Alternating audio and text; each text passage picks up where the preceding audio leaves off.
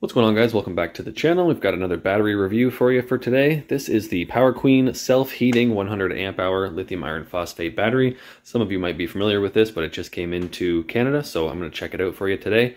Um, like I said, it's the self-heating. This has uh, built-in heaters that come on at 5 degrees Celsius if you were trying to charge, and they shut off at 10 degrees Celsius once the cells are warmed up. That's about 40 and 50 degrees Fahrenheit. So we're going to test that. It's below freezing today, but I still might stick it in the little mini freezer here just to get it cooled off a little bit faster because these batteries do take a long time to get down to temperature. I put this in the freezer at about minus 15 for 24 hours and it's still charged because the internal temperature wasn't quite there.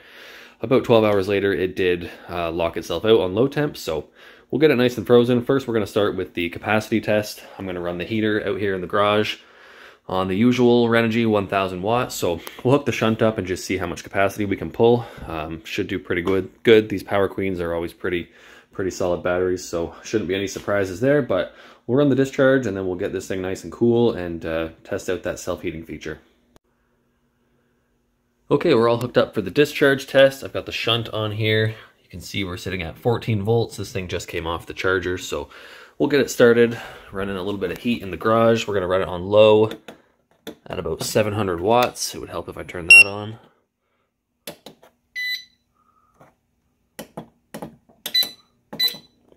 There we go. Got it on low, set for 72. It's about 48 degrees in here, so that's not going to be shutting off on temperature anytime soon. See, we're pulling the voltage down. And we're pulling about 57 amps. So we'll let that run for a little while and we'll come back and check on it. Alright guys, that's pretty much going to do it for the capacity test. We ran the heater until I got the low voltage alarm on the inverter and then just a couple light loads on it to get down to that last little bit. So I started this at 115 amp hours and we're sitting at 11.6. So we did pull beyond rated capacity, which is always good to see. You're getting a good bang for your buck. We got almost 104 amp hours and it is still going. It'll go a tiny bit further, but it's about to uh, get to that mark again. So I'm going to shut it off and call it good. We will get the battery outside for a bit and then throw it in the freezer overnight. And tomorrow morning we can do the uh, low temp protection test. Alright guys, it's been pretty close to 36 hours, so we're going to put the charger on. I don't know if you can see how frosty those terminals are, but it's definitely cold in here. Um, I tried at 24 hours and it did try to charge the battery, so hopefully this is enough. And the charger does come on, but I just want to check.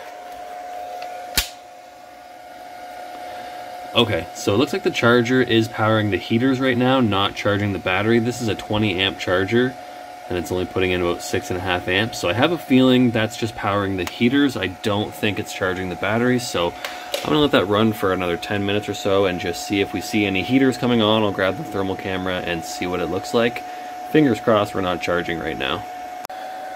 Okay, so the charger's been running for about 10 minutes, maybe closer to 7 or 8, but we don't have a ton of heat in the front of the battery just yet, maybe a tiny bit, but uh, if I get right down here on the floor, you can see we have a ton of heat right in the bottom, so looks like this one has a heating pad definitely on the bottom of the cell, uh, sorry, on the bottom of the battery pack. I might turn it around and just see if there's anything on the back here. Might as well do that now. This thing is fully frozen. Look at how frosty that is. And no, no heaters in the back. Let's tip it over. But actually you can see where the frost is actually thawed already from that heater. So lots of heat coming off of that guy. We've got about 63 there in the middle. Yeah, that's pretty warm actually to the touch compared to the absolute ice cube that the rest of the battery is. So that's good to see. It does lock out the charging and the heaters do work, or at least heater. That's only the only one I see at this point, but uh, yeah, that's a good sign.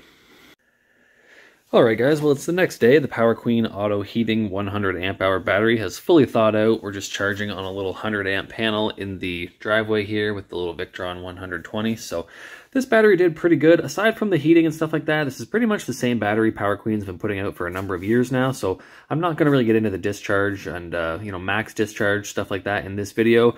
I think the next video I want to do on one of these batteries is I'm going to try to build a little enclosure in my shed, uh, maybe out of that styrofoam insulation board with a really small heater inside, and just see sort of what you need how much panel, how much battery you need to keep in an unheated space like that to run like a really small heater and just keep the little battery enclosure above freezing at all times. So if you didn't have an auto heating battery like this, you could still have power in like a shed or an unheated garage, something like that. So keep an eye for that video. That's obviously not going to be in this one, but uh, that's kind of my plans for these batteries in the future. I'm going to make something like that. So I hope you enjoyed the video. I'll have a link to this down below. Like I said, this is their auto heating version, so check it out on the website if you're interested. Um, as always, thanks for watching. I hope you enjoyed the video, and I'll see you next time.